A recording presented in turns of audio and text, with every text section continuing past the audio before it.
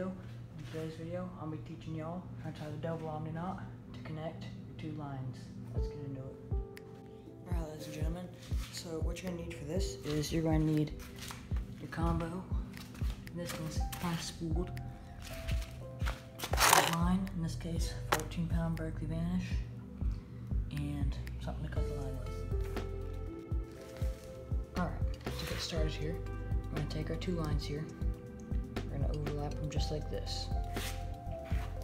Then we're gonna do this side, so I'm gonna take my foot and I'm gonna hold down one I'm gonna hold down the side that I'm not doing first with my foot. If I can.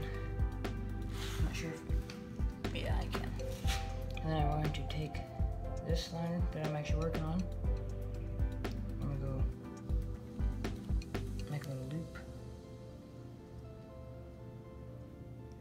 I'm going to go through it four times. One, two,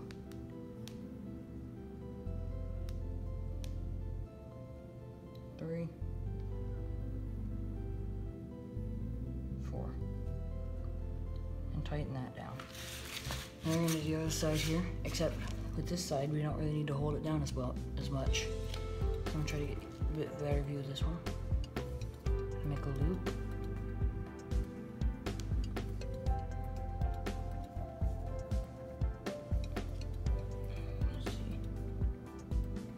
I always have trouble with this part making a loop.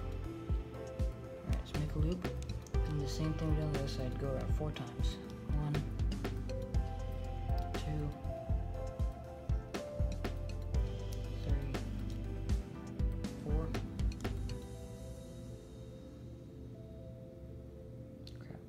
Four. Alright. Now go ahead and wet the line. Pull the main lines tight. And I like to go ahead and give the tag ends a little pull too.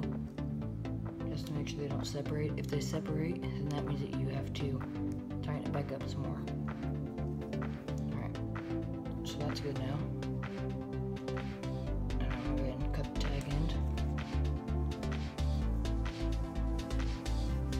I like to first, I to do this. I'll take one, I'll start simple overhand knot on each side.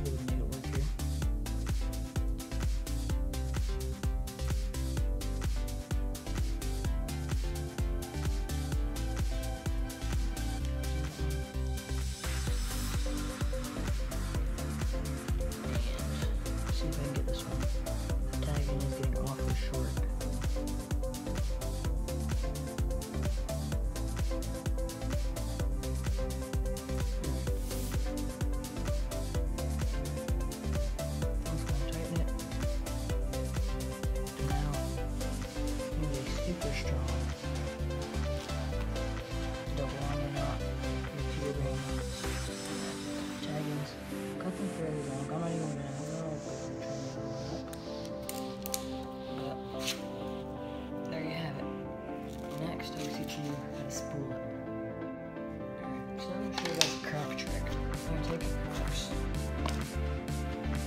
I'm going to take some rope or pencil. I'm just going to use it.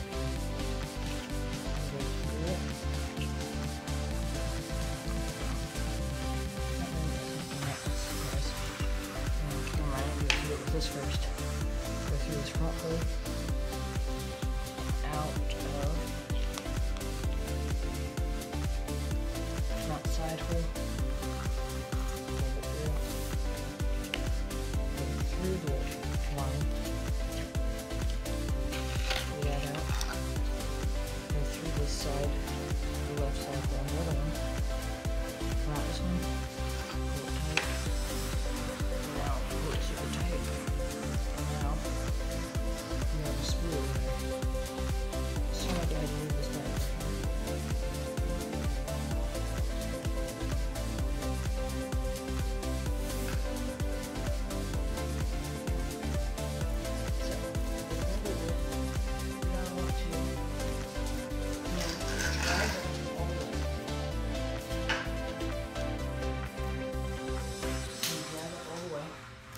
Spinning reel, it'll be up here.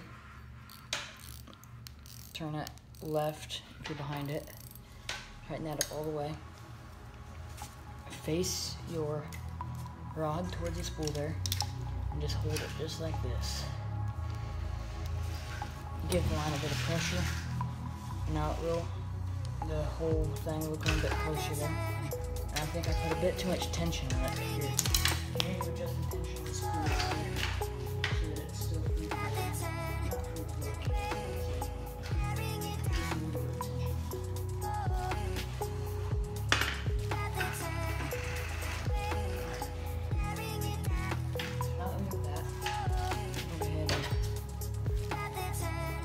hold the line up here just like this that we have tension and then just reel.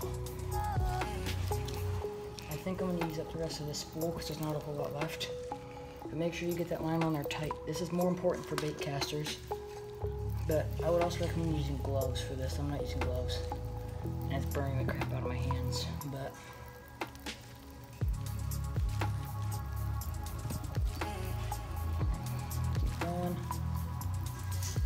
Do this for as long as you need to. And then of course, cut the line. And you're all set. And I hope you learned something in this video. Be sure to like, comment, and subscribe. And I'll see you.